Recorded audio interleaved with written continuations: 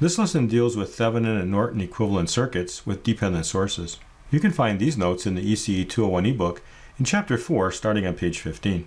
Superposition and proportionality still hold because as we have seen in our last examples, the dependent sources don't remain in the column of independent sources.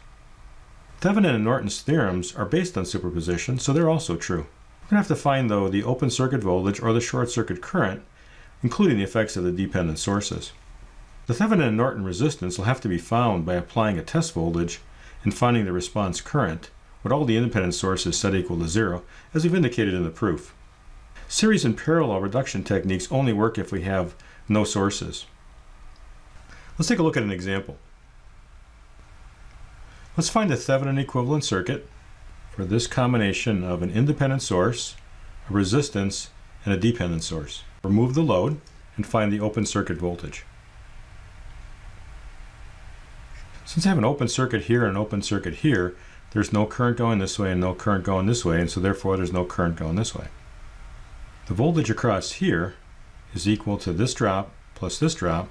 Since I have no current, then the voltage across here is zero. So this voltage is now the same as this voltage, which is our open circuit voltage or Thevenin voltage. So I have V Thevenin in terms of mu V sub x. But what is V sub x? It's the controlling variable back here. It's this node voltage minus this node voltage. So that's V sub s minus V Thevenin. Let's put that over here now. Right, now I've got V Thevenin on this side of the equation and also on this side of the equation. So let's multiply it by mu and bring it on the other side of the equation. Say V Thevenin and mu V Thevenin is equal to mu V sub s. So the voltage V Thevenin is equal to mu divided by 1 plus mu times V sub s. Again, we're considering that we know the resistance value, we know the input voltage, and we know our controlled source gain constant of mu. So I can then find the Thevenin voltage in terms of these symbolically, or if I had values, I could plug the values in. Let's find the Thevenin resistance. We'll set all the independent sources equal to zero, so a voltage source is a short, a current source would be an open, this would be an independent source.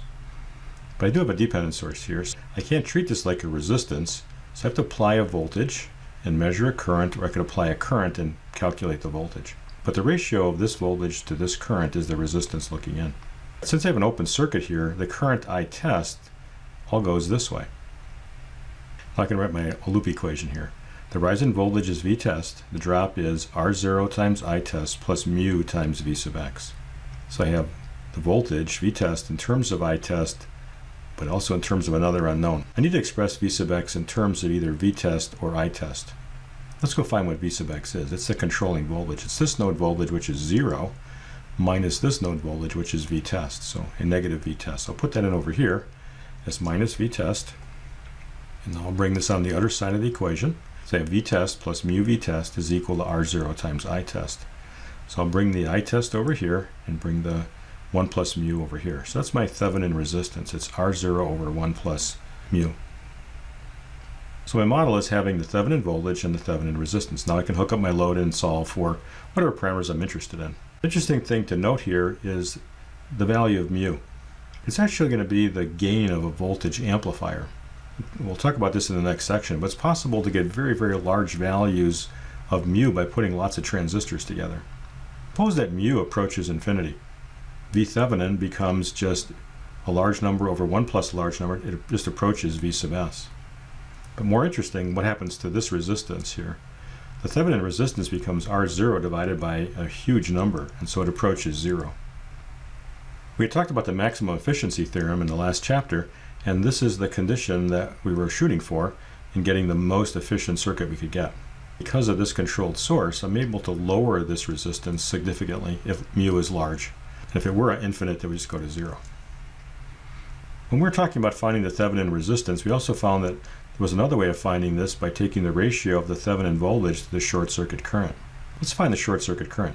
So I'm take over here on my terminals A and B and short them, and I'm going to find the current in the short circuit. I have a short circuit over here. I'm going to force this voltage across the resistance. So this terminal will be the minus and this will be the plus. If you go around the loop here, the rise in voltage would equal the drop. The short circuit over here, V sub x is equal to this node voltage, which is V sub s minus 0. So V sub x is equal to V sub s. Now the current that flows in this resistance can't go this way, it can only go back to the short circuit. So the voltage across here is mu V sub x and the resistance is R0, so this current is the short circuit current. And now I know that V of x is equal to V of s. Our Thevenin resistance is the Thevenin voltage from our last calculation, mu over 1 plus mu times V sub s, and now our short circuit current, the V sub s is cancel, mu's cancel, and I want to getting R0 in the numerator over 1 plus mu. This is the same result we had on the last page.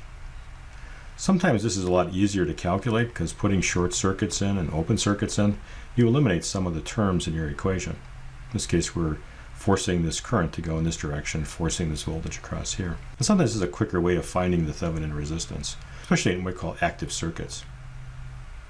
And this is an example of a Thevenin equivalent circuit with a dependent source.